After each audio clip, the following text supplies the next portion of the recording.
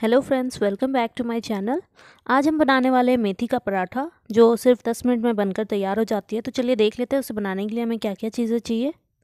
सबसे पहले मैंने यहाँ पे आटा ले लिया है। आटा मैंने आधा किलो के करीब लिया है और मेथी मैंने 300 ग्राम के करीब लिया था। उसे अच्छे से साफ़ करके धोकर और बारीक काट कर ले लिया है मैंने। इन दोनों को मिक्स करने के बाद मैं इसमें नमक ऐड करूँगी स्वाद अनुसार।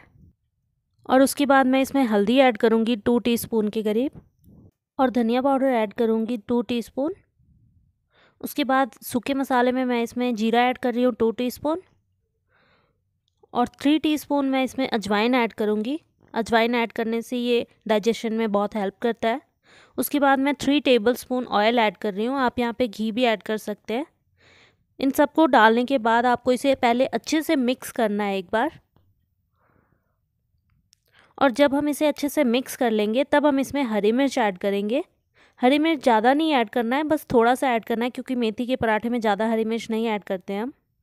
और इसे अच्छे से बारीक काट कर ऐड करें, ताकि आपको बेलने में ये प्रॉब्लम नहीं करेगी। हरी मिर्च ऐड करने के बाद हम यहाँ पे हरा धनिया भी ऐड करेंगे। आप चाहे तो धनिया को स्किप कर सकते हैं बट वो बहुत अच्छा टेस्ट देता है इसमें। धनिया को मैंने साफ़ करके अच्छे से धो लिया है। उसके बाद मैं इसे बारीक काट करके इसमें ऐड कर दूँगी। आप चाहे तो इसमें प्याज भी ऐड कर सकते हैं। प्याज को बिल्कुल बारीक काट ले और इस स्टेज पे उसे भी ऐड कर दे। फिर ऐड करने के बाद सबको अच्छे से मिक्स कर ले और हल्के गुनगुने पानी से इस आटे को गूंदे। आटा हमें सख्त लगाना है, ज़्यादा नरम आटा नहीं लगाना है। थोड़ा थोड़ा पानी डालकर हम आटे को गूंदना शुरू करेंगे अच्छे से। और ये देखिए, आटा हमारा गूंद कर तैयार होने वाला है। बस ध्यान रखिए आप पानी बिल्कुल थोड़ा थोड़ा इस्तेमाल करें और ये देखिए, आटा हमारा बिल्कुल तैयार है, बस हमें इसे थोड़ा स्मूथ कर लेना है। आटा मेरा लग चुका है। अब मैं इसमें वन टीस्पून के करीब बिल्कुल थोड़ा सा तेल लगा दूँगी ताकि ये आटा ऊपर से सूखे ना। और अब हम इसे बनाना शुरू करेंगे। सबसे पहले मैंने एक बड़े साइज़ का डो अपने हाथ में लेकर उसे अच्छे से रोल कर लिया है। ये पराठा थोड़ा मोटा ही अच्छा लगता है। अगर आप इसे ज़्यादा पतला करेंगे तो ये बिस्किट की तरह क्रिस्पी हो जाएगा, बिल्कुल। तो आप ध्यान रखिए, इसे मक्की की रोटी की तरह थोड़ा मोटा ही बेले। रोटी के जैसे ना बनाएँ इसे। और गरम तवे पे मैंने इसे डाल दिया है। पहले ये वन साइड से मैं इसे सेक लूँगी अच्छे से। ये देखिए, इस साइड से सेक चुका है। अब मैं इस साइड घी अप्लाई कर दूँगी। आप घी की जगह पे बटर भी यूज़ कर सकते हैं, ऑयल भी यूज़ कर सकते हैं एज़ यू विश इसे अच्छे से अप्लाई करें स्पून से और उसके बाद आप इसे पलट देंगे।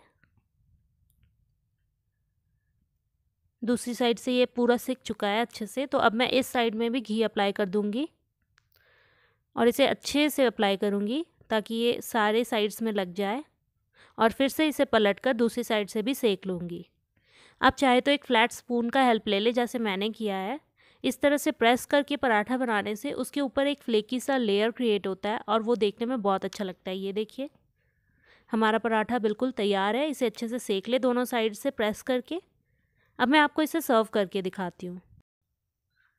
ये देखिए, हमारा पराठा बिल्कुल तैयार है। उम्मीद करती हूँ आपको ये रेसिपी पसंद आई होगी। अगर पसंद आई है तो मेरे चैनल को सब्सक्राइब करना ना भूलें और इस वीडियो को लाइक और शेयर ज़रूर करें। Thank you